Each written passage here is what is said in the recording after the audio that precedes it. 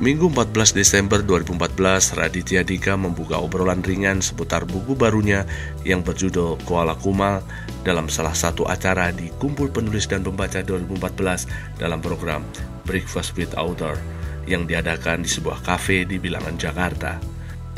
Raditya Dika mengajak pembaca ngobrol santai tentang proses kreatif lahirnya novel Koala Kumal. Buku terbaru Raditya Dika ini akan hadir di tangan pembaca tanggal 17 Januari 2015.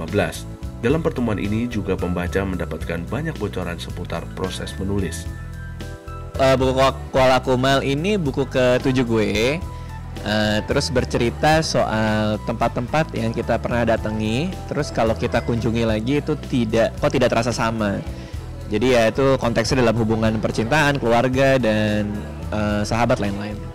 Kuala Kumal nulisnya tiga tahun dari 2011 sampai 2014. Um, iya tiga tahun. Kuala Kumal inspirasinya dari tadi dari uh, gua lihat foto koala yang galau ngelihat rumahnya ditebangin jadi uh, apa namanya yang tadinya hutan ditebangi jadi gundul. Terus gue ngerasa ini koala ngerasain bahwa tempatnya yang dulu nyaman jadi nggak nyaman lagi. Nah itu tema yang mau gue bawa di buku ini perbedaan signifikan mungkin kalau signifikan banget enggak ya. Cuman paling kegelisahannya lebih dewasa aja lebih sesuai dengan umur gue gitu. Jadi ma tiap buku kan pasti kita mengalami peningkatan dari sisi tema yang kita bawa. Jadi paling itu aja.